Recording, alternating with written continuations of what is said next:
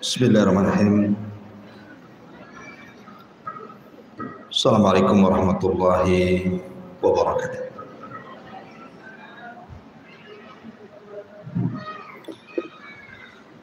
Alhamdulillah wassalatu wassalamu ala Rasulillah wa ala alihi wa sahbihi wa mawalah wa la hawla wa la quwata illa billahi wa ba'd. Alhamdulillah di pagi hari ini kita bisa duduk untuk bertalabul ilmi. Dan kajian di pagi hari ini meneruskan kajian Arba'in Nawawi dan kita masuk pada hadis ke 23 kita baca hadisnya dulu. An Abi Malik Al-Harithi Ibn Asim Al-Ash'ari radhiyallahu anhu Qala qala Rasulullah sallallahu alaihi wasallam At-tuhuru syatrul imani walhamdulillah tamla'ul mizan wa subhanallah walhamdulillah tamla'ani au tamla'u ma bainas sama'i wal ardi wassalatu nurun wassadaqatu burhanun wassabru diya'un والقرآن حجة لك أو عليك.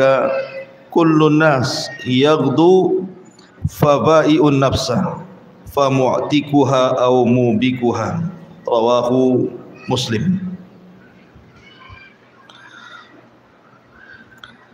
Dari Abi Malik Al-Harithi Ibn Asim Al-Ash'ari radhiyallahu Abi Malik ini termasuk dari orang-orang Ansor dan dia seorang Ash'ari artinya dari kabilah yang berasal dari Yaman. Dan kabilah Ash'ari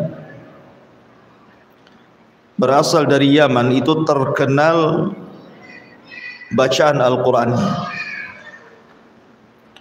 sampai-sampai Nabi Shallallahu Alaihi Wasallam kalau dalam pertempuran dan di malam hari apabila melewati pasukan perang maka Nabi selalu mengatakan inni a'lamu aina maudi al ashariyin aku tahu di mana letak istirahatnya pasukan dari kabilah ashariyin Kenapa Nabi Shallallahu Alaihi Wasallam mengetahui padahal malam-malam dan tidak kelihatan? Karena kebiasaan sahabat dari kabilah Ash'ariyin kalau malam senantiasa solat malam dan mengeraskan bacaan Qur'annya dan punya suara khusus. Keindahan suara yang luar biasa kabilah Ash'ariyin Salah satu sahabat yang dipuji karena bacaan Qur'annya adalah Abu Musa.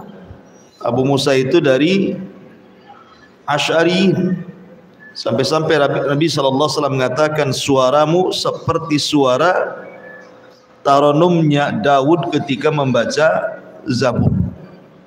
Intinya kabilah Ash'ari ini memang terkenal bacaan Qur'annya.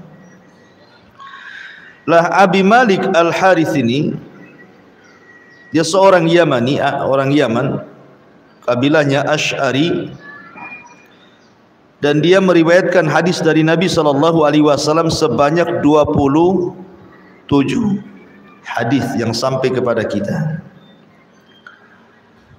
Dan beliau meninggal di zaman kekhilafahan Umar ibn al-Khattab radhiyallahu anhu.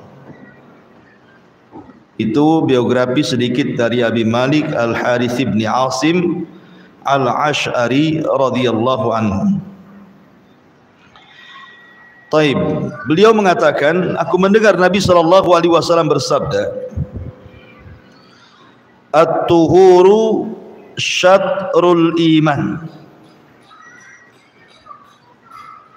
Bahwa bersuci itu separuh daripada iman. Kalimat at-tuhur kalimat bersuci maksudnya bersuci dari apa? Tentu yang paling besar adalah membersihkan hati dari kesyirikan. Membersihkan hati dari kesyirikan. Dan juga dari dosa-dosa di bawahnya. ataupun maknanya membersihkan badan dari hadas ataupun najis. Makanya selalunya kalimat at-tahur digandingkan dengan salat seperti dalam hadis ini at-tahur digandingkan dengan salat at-tahuru syatrul iman wassalatu nurun dan salat cahaya. Berarti yang dimaksud at-tahur di sini artinya membersihkan badan dari hadas ataupun najis. Baik dengan air ataupun dengan tanah. Maksudnya tayamum. Kemudian Rasul mengatakan walhamdulillah. Dan ucapan alhamdulillah.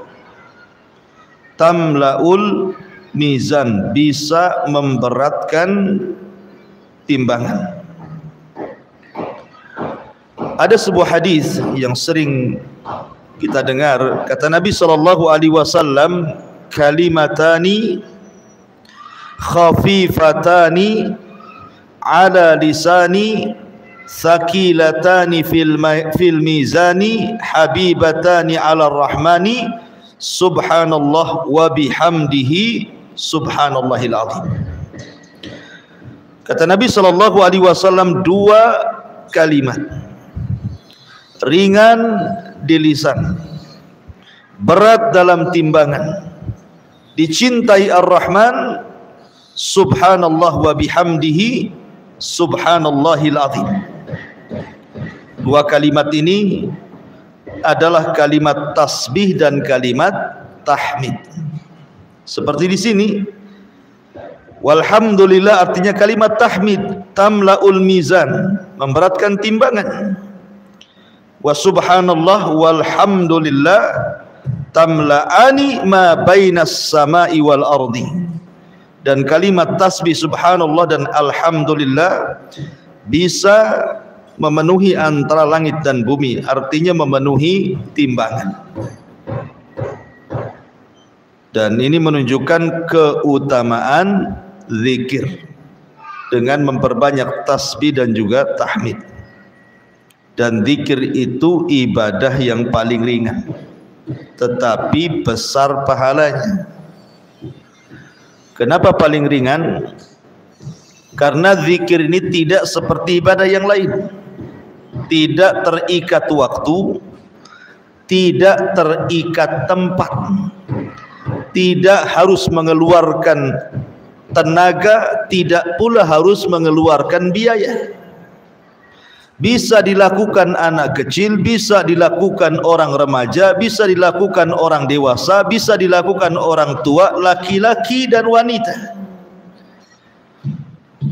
Tidak harus kemudian ditentukan oleh tempat ataupun waktu yang mengikatnya. Kapan pun zikir itu bisa dilakukan ibu bisa zikir sambil jalan ibu bisa zikir sambil ke pasar ibu bisa zikir sambil masak ibu bisa zikir sambil tidur. Jadi zikir itu ibadah ringan sebenarnya. Dan ibadah kapan saja bisa dilakukan. Tetapi demikian pahalanya besar. Salah satunya adalah bisa memberatkan timbangan. Kemudian Adapun tasbih dengan tahmid, bedanya apa tasbih dengan tahmid itu? Kalau tasbih itu membersihkan segala sifat-sifat yang kurang bagi Allah. Tetapi kalau tahmid menetapkan sifat-sifat yang terpuji bagi Allah. Jadi kebalikannya. Kalau tasbih membersihkan dari membersihkan Allah dari sifat-sifat yang mengurangi hak Allah Subhanahu wa taala. Kalau tahmid sebaliknya menetapkan sifat-sifat yang terpuji dan sempurna bagi Allah Subhanahu wa taala. Kemudian kata Nabi sallallahu alaihi wasallam as-salatu nurun. Salat itu cahaya was-sadaqatu burhanun. Sedekah itu bukti. Was-sabru liyaun. Dan sabar itu cahaya yang sangat terang. Di sini ada kalimat nurun burhanun diyaun ini sebenarnya tiga kata ini semua bicara tentang cahaya jadi arti nur ya cahaya, burhan juga cahaya, dia juga cahaya. Lalu apa bedanya tiga cahaya ini? Kalau nur itu cahaya tetapi membawa ketenangan. Itu disebut nur. Cahayanya membawa ketenangan. Tetapi kalau dia itu cahayanya membawa rasa panas. Makanya cahaya matahari dengan cahaya bulan itu beda. Kalau cahaya matahari disebut dia. Kalau cahaya bulan disebut nur. Dan itu sebagaimana Allah mengatakan wa ja'ala syamsa diya'an wal qamara nurun wal qamara nurun Di sini Allah mengatakan wa ja'ala syamsa dia dan Allah jadikan matahari itu cahayanya dia. Dan Allah jadikan bulan itu cahayanya nur. Apa bedanya cahaya bulan dengan matahari? Bu? Kalau cahaya bulan tidak ada rasa panas tenang kita ini kan kalau berjalan di malam hari sedang bulan purnama nyantai saja kita jalan kan. Tidak perlu bawa payung untuk supaya membentengi cahaya bulan dengan kita. Yang ada kita menikmati dengan cahaya itu. Itulah sholat cahayanya itu membawa ketenangan seperti cahaya bulan. Kalau sabar itu disebut dia. Cahayanya membawa panas seperti cahaya matahari. Kalau seandainya ibu siang-siang itu ya ada matahari terik, kemudian kita berjemur itu terasa panas. Bahkan ada orang yang tidak sanggup sehingga harus pakai payung untuk membentengi dia dan cahaya matahari. Artinya kenapa sabar itu diibaratkan cahaya matahari? Karena sabar itu perlu adanya taat harus adanya pengorbanan. Susah sedih capek gitu ya. Makanya cahayanya seperti cahaya matahari. Tetapi kalau burhan burhan itu hasil daripada cahaya matahari. Tidak harus kemudian kita berpanas-panasan. Seperti umpamanya kita berada di sebuah rumah tanpa ada listrik tetapi cahaya mataharinya sampai ke rumah kita. Itu disebut burhan. Itu secara bahasa ya. Tetapi di sini yang dimaksud as-salatu nurun salat itu cahaya maknanya apa? Salat itu cahaya yang menerangi jiwa manusia dan dengan cahaya itu manusia tidak disesatkan dalam perjalanan dunianya jadi cahaya di sini maksudnya hidayah. Tidak akan tersesat kalau orang sholat itu berjalan di dunia.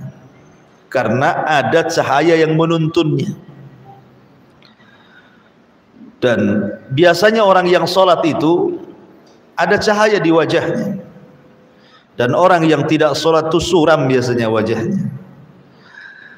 Bukan hanya di dunia sholat itu juga akan menerangi kuburannya jadi as-salatu nur bahwa salat itu cahaya. Maksudnya cahaya juga indah qabri. Ketika dia masuk ke dalam kubur, maka kuburnya akan terang dan bercahaya.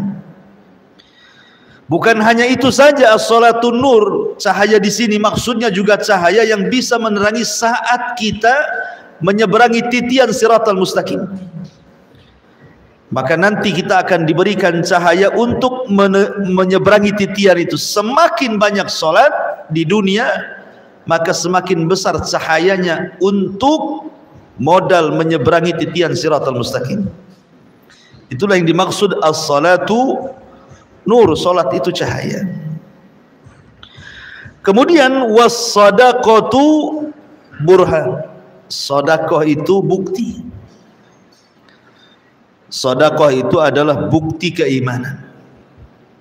Artinya orang kalau bakhil tidak mau bersedekah dipertanyakan imannya. Karena itu bukti masalahnya. Kayak orang ngaku-ngaku gitu ya, kan harus ada buktinya. Kalau seseorang ngaku-ngaku beriman, kalau tidak bersedekah berarti belum terbukti. Dan sedekah ini adalah amalan yang sangat agung sampai-sampai orang yang mati ingin dihidupkan kembali hanya ingin bersedekah. Laula akhartani ila ajalin qarib la asaddaqa wa akum minas salihin. Kalaulah Allah hidupkan aku walaupun sesaat tentu aku akan bersedekah. Kenapa demikian? Karena orang yang meninggal ketika dikubur itu kan diikuti tiga perkara. Pertama keluarganya, yang kedua hartanya, yang ketiga amalannya. Keluarganya balik ke rumahnya. Kemudian hartanya jadi rebutan ahli warisnya. Kemudian yang sampai ke kuburannya adalah amalannya.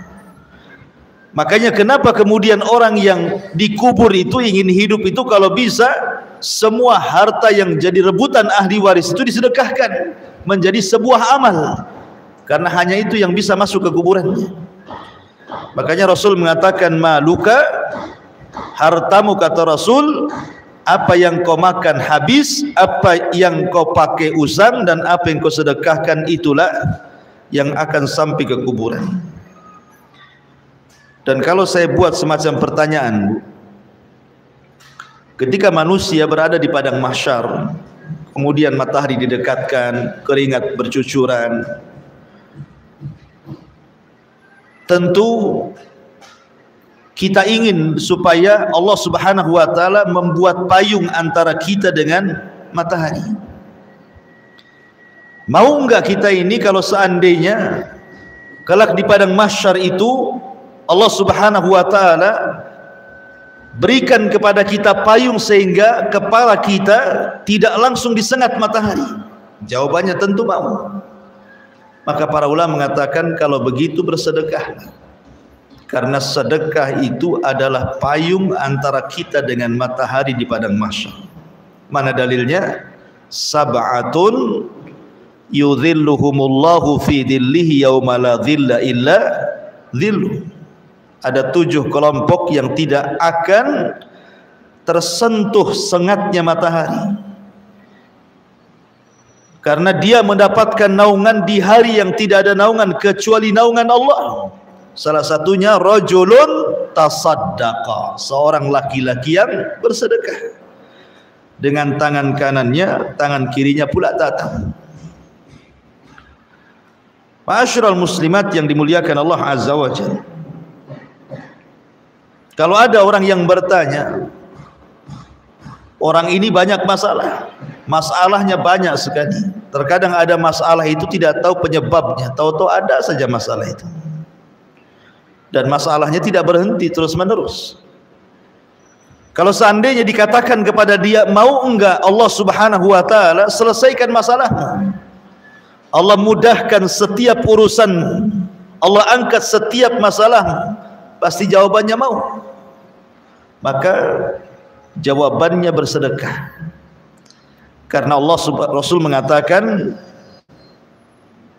sesungguhnya innal abda fi aunillah Sesungguhnya seorang hamba itu berada pada pertolongan Allah.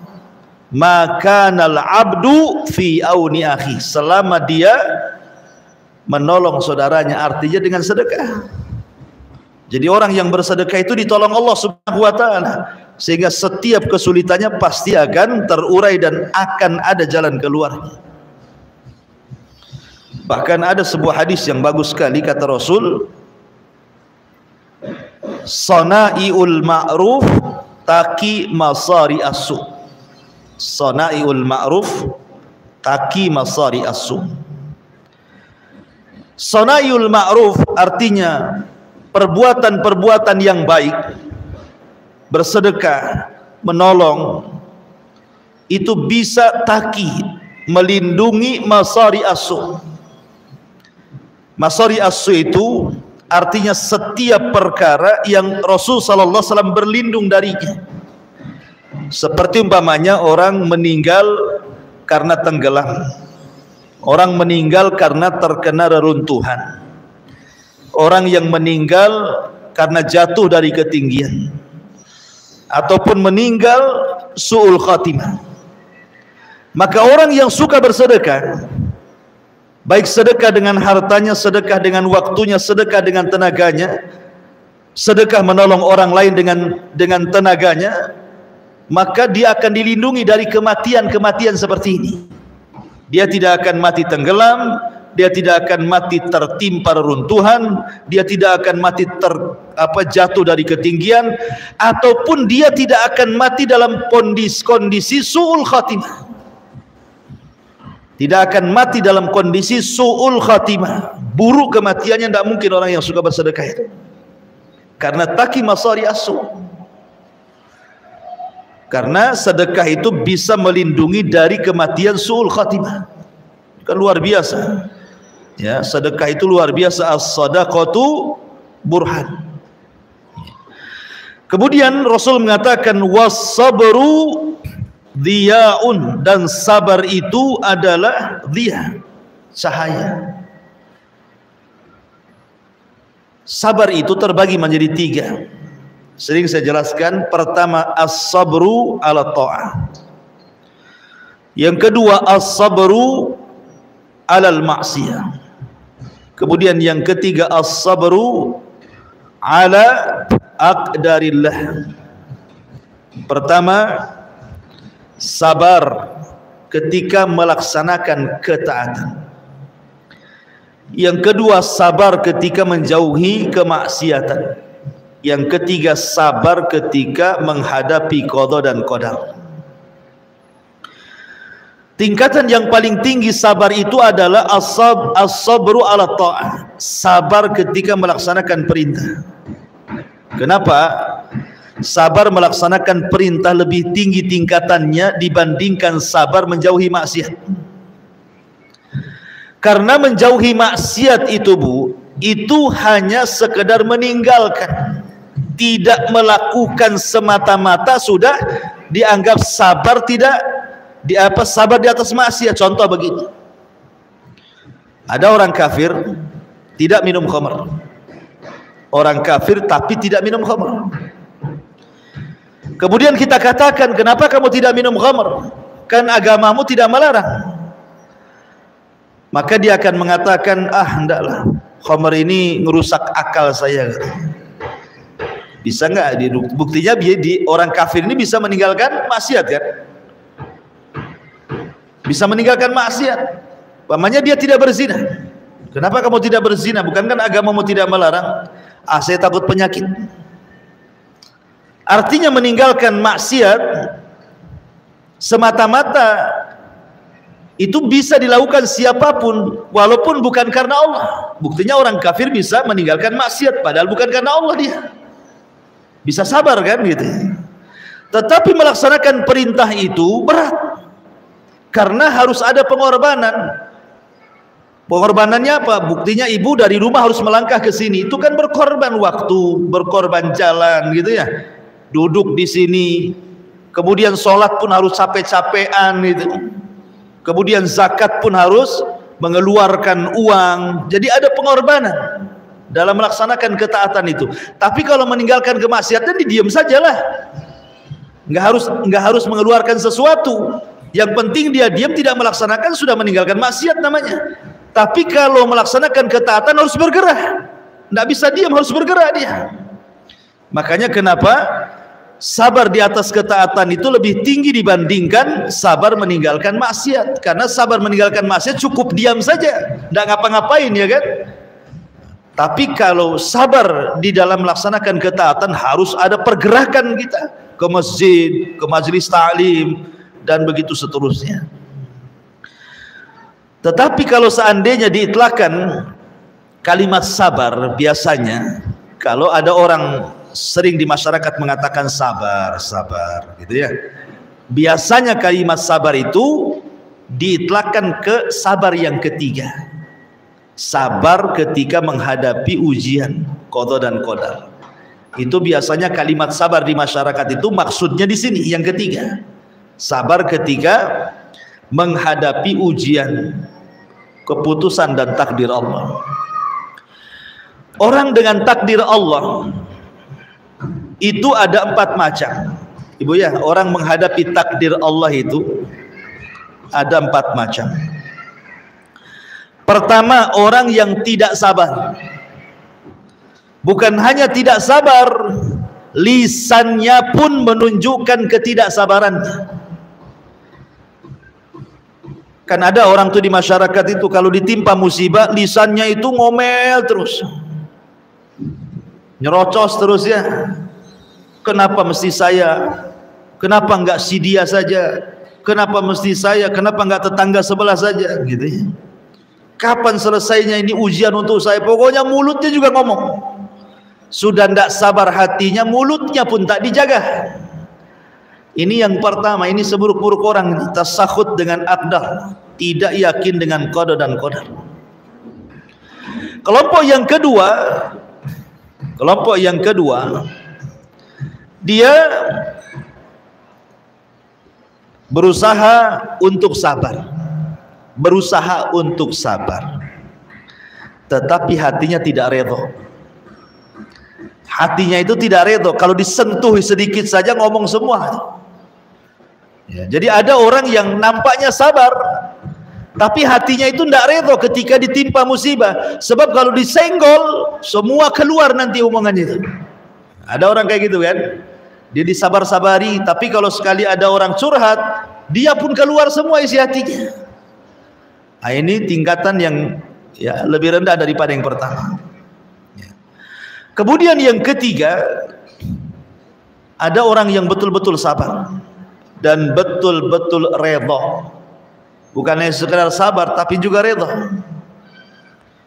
Sudahlah, memang harus diapakan musibah ini sudah dicatat oleh Allah 500 tahun sebelum Allah menciptakan langit dan bumi. Mau diapakan lagi? Terpaksa harus sabar. Dan dia berusaha untuk merelakan. Ini adalah sabar yang terpuji. Tetapi yang paling terpuji lagi kalau dia sabar kemudian redha kemudian dia pun mengucapkan alhamdulillah. Bukan hanya sabar bukan hanya redha tetapi dia mengucapkan alhamdulillah Maksud mengucapkan alhamdulillah itu maksudnya dia masih mengingat kebaikan-kebaikan Allah yang lainnya. Contoh seperti kisahnya Urwah bin Zubair. Urwah bin Zubair ini suatu ketika bermasalah dengan kedua kakinya. Salah satu kakinya itu harus diamputasi. Kalau tidak maka akan menjalir atau apa namanya virusnya itu akan masuk ke tempat lain maka harus diamputasi kakinya Itu cara satu-satunya untuk menyelamatkan jiwanya. Saat diamputasi, saat diamputasi terdengarlah kematian putranya. Terlempar dari kuda kemudian meninggal. Jadi ini dua musibah beruntun tuh. Musibah pertama kakinya harus diamputasi, musibah kedua anaknya meninggal dunia. Maka kemudian Urwah ibn Zubair mengatakan Alhamdulillah Allahumma lakal hamdu. Allahumma lakal hamdu segala pujian hanya milik engkau ya Allah. Kemudian orang di sekitarnya ngomong ya Urwah bagaimana engkau bisa mengatakan Allahumma lakal hamdu? Sementara kakimu bermasalah harus diamputasi dan anakmu meninggal dunia maka kata Urwah ibn Zubair dia mengatakan, kenapa saya mengatakan Allahumma lakal hamdu? Karena Allah Subhanahu wa taala sudah memberikan empat anggota badan pada badanku, dua tangan dan dua kaki. Ketika kakiku diamputasi masih ada tiga anggota badan. Allahumma lakal hamdu. Allah Subhanahu wa taala memberikan kepadaku tujuh anak.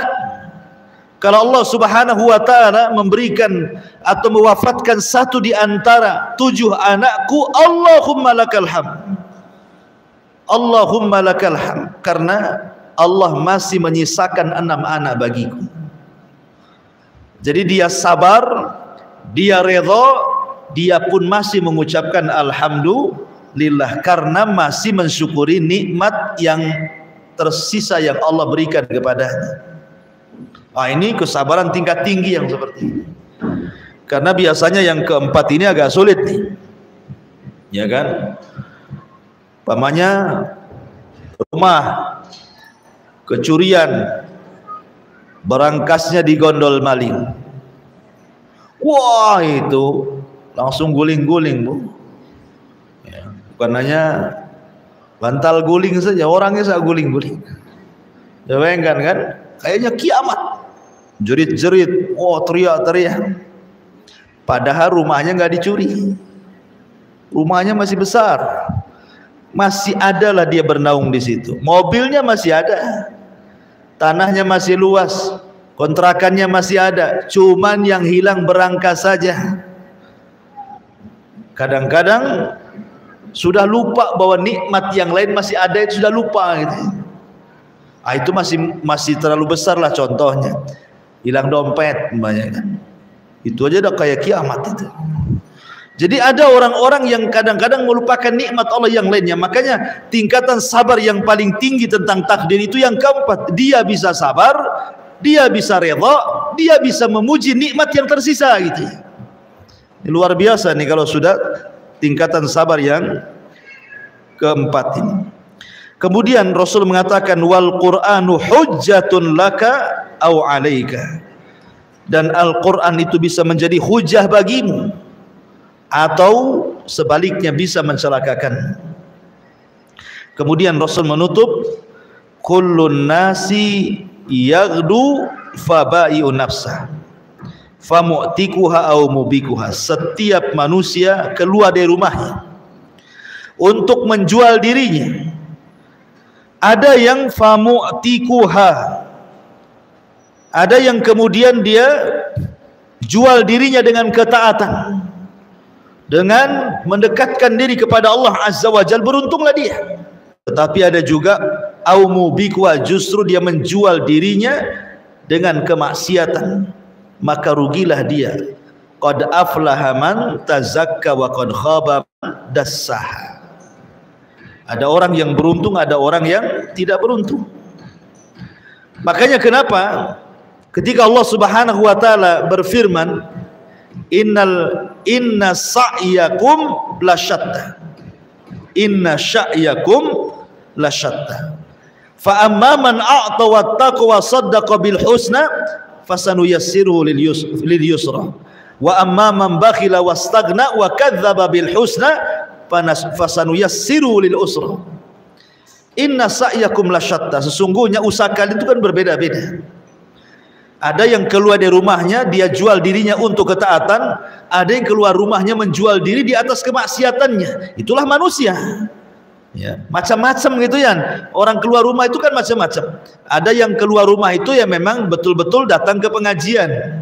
Berarti dia jual dirinya kepada ketaatan. Ada yang keluar rumah itu memang sengaja datang ke tetangga untuk menggelar gibah gitu ya pengajian juga cuman beda. Pengajian pengajian gibah ya. Yang ngobrol tetangganya itu kan beda tak sama-sama keluar dari rumah tuh. Ya. makanya kemudian di sini Allah Subhanahu wa taala mengatakan barang siapa yang dia suka memberi bertakwa kemudian yakin dengan sorga maka Allah mudahkan perjalanan hidupnya.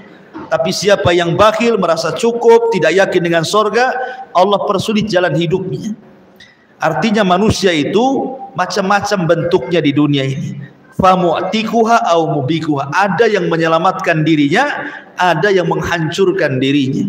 Oleh karena itulah maka kembalilah kepada asal daripada ciptaan Allah wa ma khalaqtul jinna wal insa illa liya'budun. Tidak tidaklah kuciptakan jin dan manusia kecuali untuk beribadah kepada Allah Subhanahu wa taala. Wallahu alam ini di antara uh, penjelasan singkat dari hadis arba'in yang ke 23. Taib kita buat tanya jawab saja silakan. Bismillah. Assalamualaikum Ustaz. Waalaikumsalam. Uh, masih di bagian terakhir Ustaz mengenai kesabaran tadi terbagi dari empat. Ini yang anda tanyakan Ustaz dari ada tentang ketika seseorang mengalami suatu uh, musibah dalam dirinya Ustaz atau ujian dari Allah Subhanahu wa taala. Dan ketika itu dia belum memahami uh, ilmu agama yang benar. Dan tapi dalam dirinya dia mengatakan karena dia terdolimi posisinya di sini, dia mengatakan Aku tidak ridho apa yang dilakukan orang terhadap dirinya. Sampai kapan pun dan dia ingin melihat apa apa yang terjadi pada dirinya rasa sakit yang terjadi pada dirinya ingin melihat orang itu sakit seperti apa yang dia alami. Uh, itu bagaimana hukumnya? Dan ketika dia sudah belajar Ustaz dia mengatakan pula ingin berubah apa yang sudah dia lakukan, tapi belum mampu dan akan berusaha. Itu gimana? Ya, alhamdulillah. Berarti dia masuk pada kategori yang kedua, berusaha sabar, tapi kalau disenggol keluar semua tuh. Nampaknya sabar, tapi kalau dikorek semua hatinya keluar. Sebenarnya aku tidak ridho sebenarnya. Kalau bisa dia pun merasakan yang sama dengan saya. Kan seperti itu. Tetapi sebenarnya dia sudah berusaha menahan diri kan. Menahan diri supaya tidak membalas. Itu sebuah kebaikan. Menahan diri tidak membalas dendam. Tetapi kemudian dengan mendoakan hal yang sama, selama tidak berlebihan dari doanya maka tidak mengapa sebenarnya secara hukum orang yang didolimi mendoakan orang yang mendoliminya tetapi doanya hanya setara kezalimannya. Setara kezalimannya saja. Jangan dilebih-lebihkan doanya. Artinya kalau dia hanya berbuat kedoliman satu yang yang satu ini saja yang dibahas. Jangan ke mana-mana. Ya. sama dengan membalas keburukan dengan keburukan. Kan Allah yang mengatakan fajazaus sayyi'ah sayyi'atu mithluha kata Allah. Balasan orang jahat itu boleh kita membalas dengan kejahatan tetapi dengan kejahatan yang sama. Contoh umpamanya ada yang kemudian mengatakan kepada ibu dengan kalimat-kalimat binatang. Contoh umpamanya, oh dasar marmut. Gitu ya. ya sudah kita balas kamu juga marmut gitu maksudnya jangan jangan kemudian dilebihkan kamu juga marmut buaya kambing tapi ah, ya, janganlah dia dia cuma bilang marmut kenapa kita bilang semuanya satu hewan laut keluar semua. Ya. jadi boleh kita membalas tapi hanya dengan kejahatan yang sama gitu ya. Kalau lebih itu tidak boleh. Jadi dosa jadinya. Maka kalaupun berdoa seperti itu karena bagaimanapun orang yang didolimi itu dia tidak akan nyenyak tidurnya. Tapi orang yang berbuat dolim akan merasa nyenyak tidurnya makanya orang yang didolimi ketika dia berdoa di malam hari doanya akan melesat ke langit dan tidak ada antara dia dengan Allah penghalang.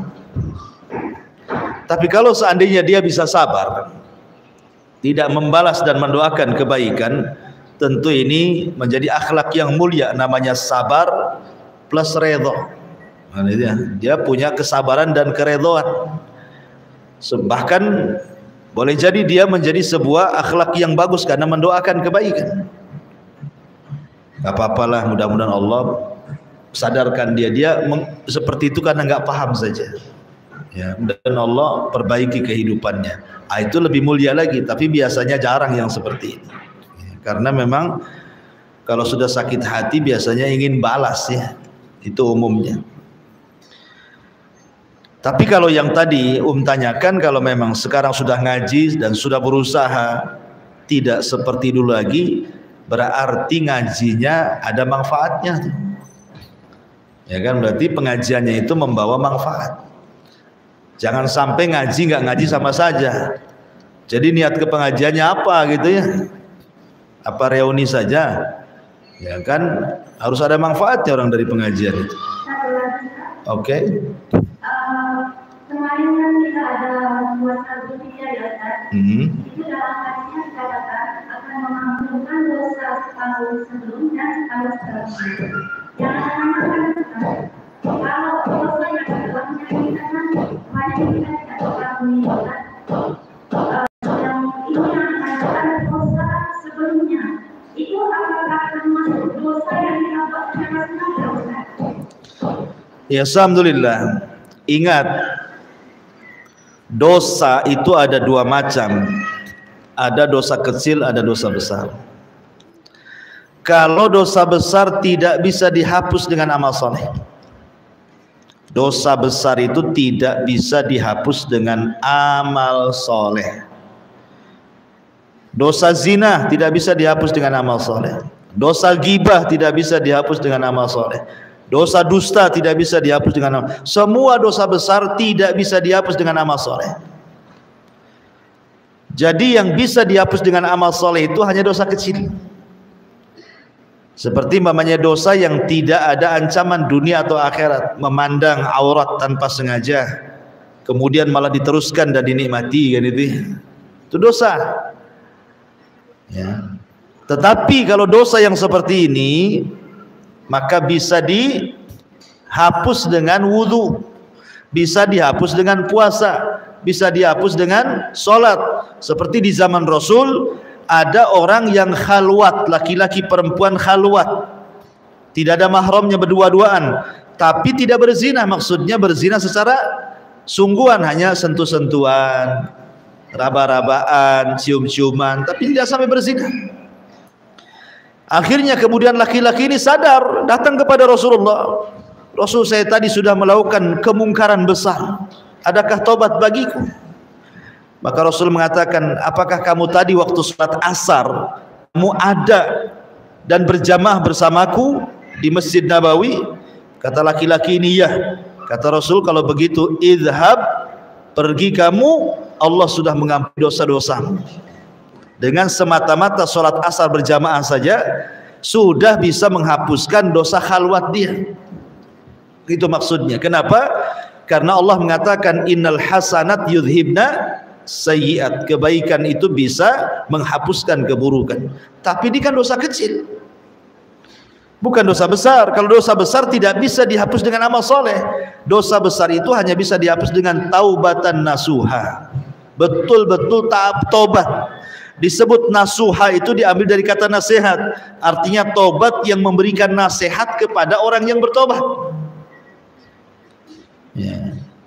sebab ada orang yang bertobat seolah-olah tobatnya tidak memberikan nasihat. Hari ini tobat besok kemudian buat lagi. Itu bukan tobat tomat. Habis tobat kumat namanya.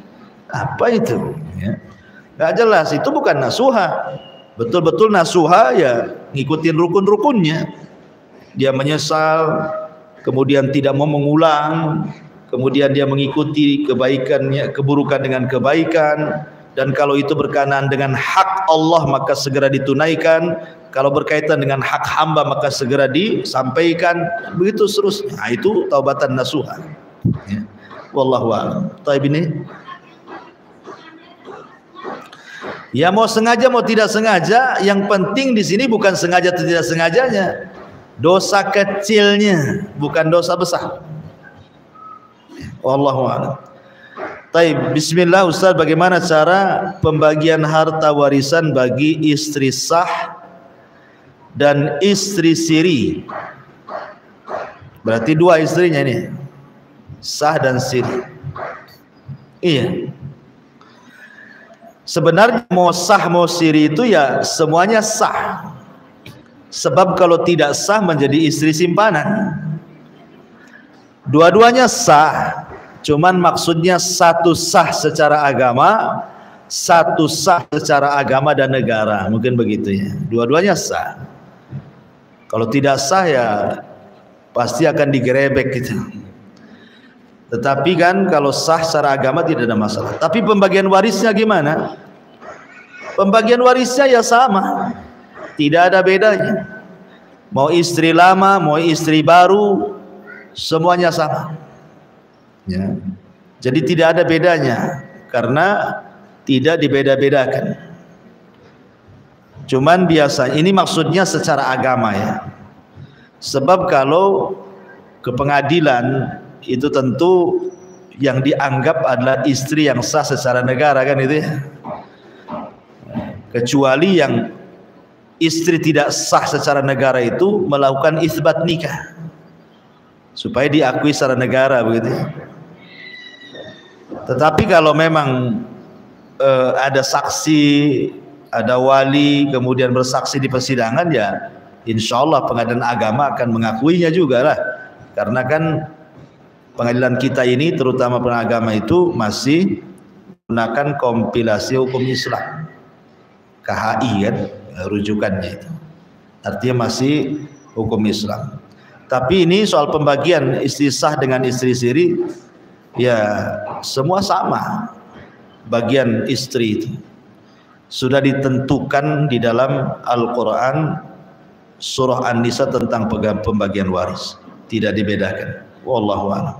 Karena dua-duanya sah kan sebagai istri dia apakah benar kalau istri sah cara bagi harta warisan dengan cara seikhlasnya saja? Lah ini seikhlasnya ini sedekah namanya bukan waris. Ya. Jadi bagi waris itu sudah ada ketentuannya. Si fulan dapat sekian si fulan dapat sekian secara nas Al-Qur'an Quran yang menentukan.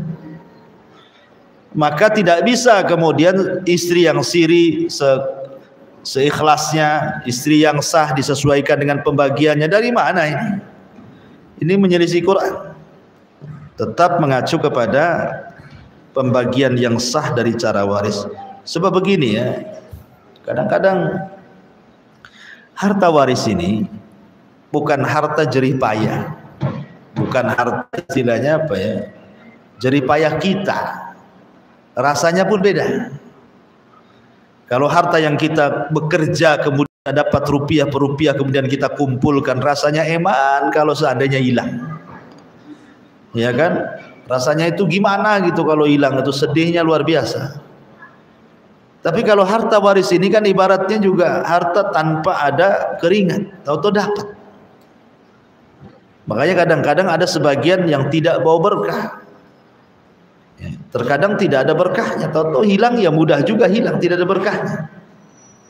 Kecuali kalau seandainya dia gunakan untuk kebaikan ataupun uh, membalas kebaikan yang memberikannya.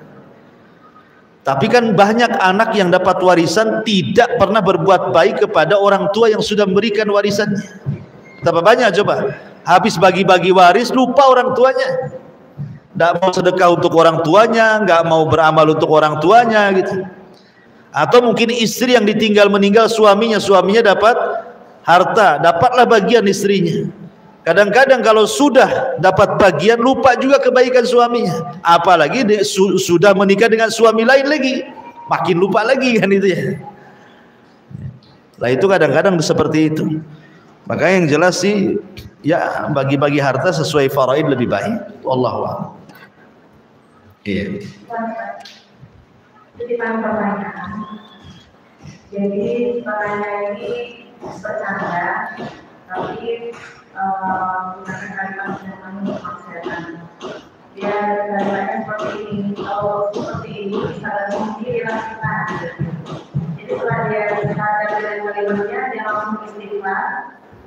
Tapi dia merasa ucapan ini doa, jadi hatinya masih tidak tenang. Apa yang harus dilakukannya?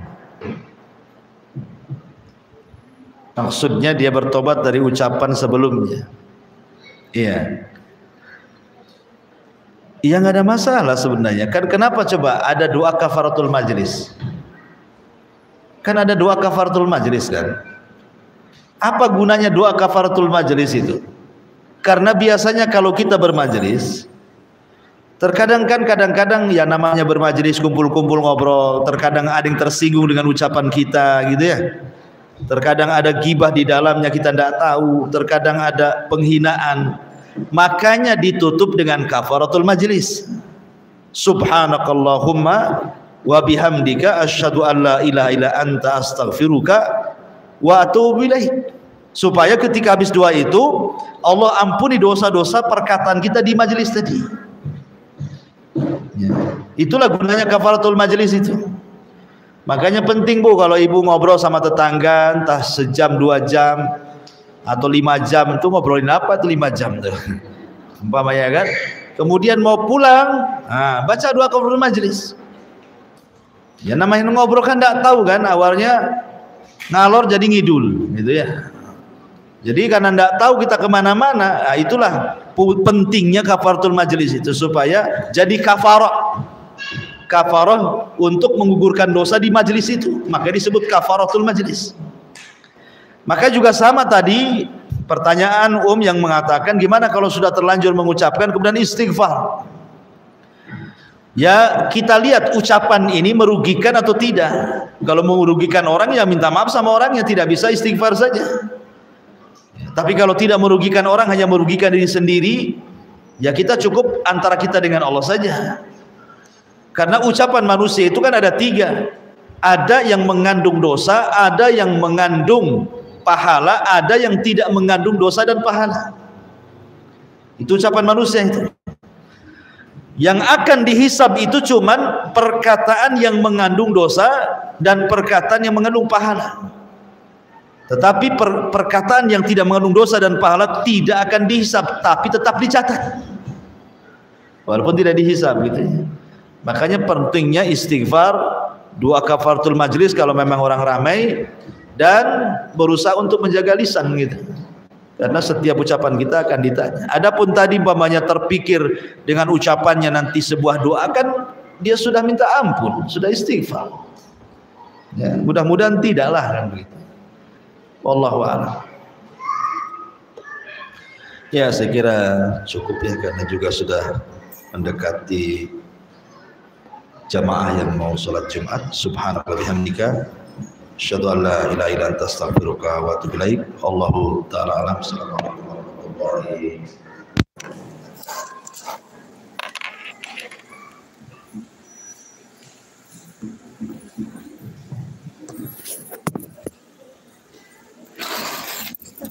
siap di mana?